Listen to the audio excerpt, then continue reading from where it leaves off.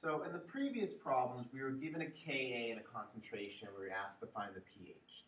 Now in this one, we're given the pH and we're asked to find Ka. So it's just backwards, but it's the same principles involved.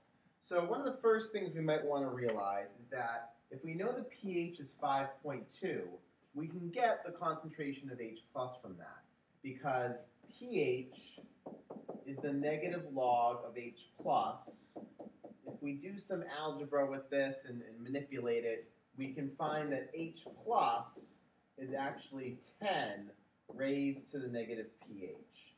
And if you want to prove this to yourself, the log of this is negative pH. It's always the exponent in the form 10 to the exponent.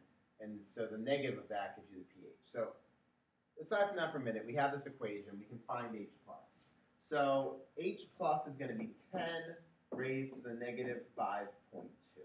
So we will type that in, 10 to the negative 5.2, and I get 6.31 times 10 to the negative 6. That is the concentration of H+. plus. And just to make sure we did that properly, you can plug back into this equation, and you should get the pH back. So if I type the log of that number, I get um, negative 5.2, which again, the negative log would be 5.2 in the pH. So that's the first thing we really need to establish, is what the concentration of H plus is. So I'm just going to write this over on the side. H plus is 6.31 times 10 to the negative 6. And I'm just going to start over because I need room for my ice chart. All these problems with Ka and Kb require an ice chart or you're going to have a lot of trouble doing them. So ICE. And they didn't really give us the formula for this acid, so when they don't give you a specific formula, we're just going to call it HA and it's going to mix with water. We always just mix it with water. And if HA is the acid, it is going to be donating the H+, plus. so that means you're going to end up with A minus and H3O+. plus. And remember, for all practical purposes, H plus and H3O plus are the same to us.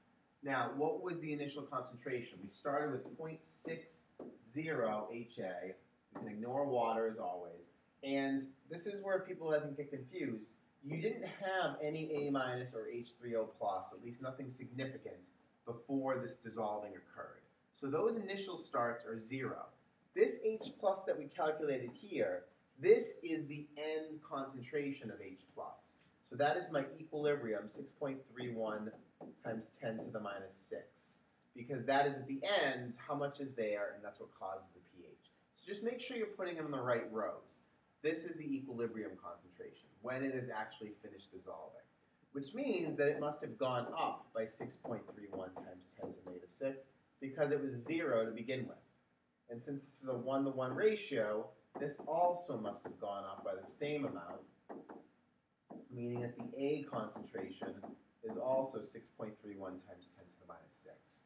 So how much did the HA drop? Well, 6.31 times 10 to the minus 6. And if you actually go and try to calculate this, 0.6 minus 6.31 times 10 to the minus 6, you're going to see that the number really doesn't change at all. In fact, it changes so little that I'm just going to leave it as is.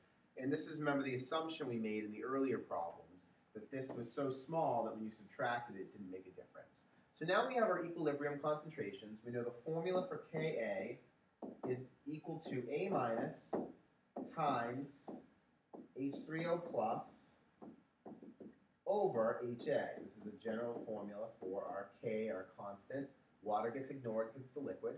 And I'm just going to plug that in. So I have 6.31 times 10 to the negative 6, and that's essentially going to be squared divided by 0.60. And whatever I get, that is going to be my value for Ka. So let's see. So when I'm done, I get 6.64 times 10 to the negative 11. That is the value for Ka here. It's very small, which we might expect. This is a decent concentration, and to only have the pH drop to 5.2, um, it indicates a pretty weak acid. So uh, again, this is just like um, going the other way with it. You need the ice chart, or you're going to have a lot of trouble with this. So just take your time with it. Remember the starting concentrations being zero for these, and, and that's it. So until next time, I am Derek Genova. Have a delightful day.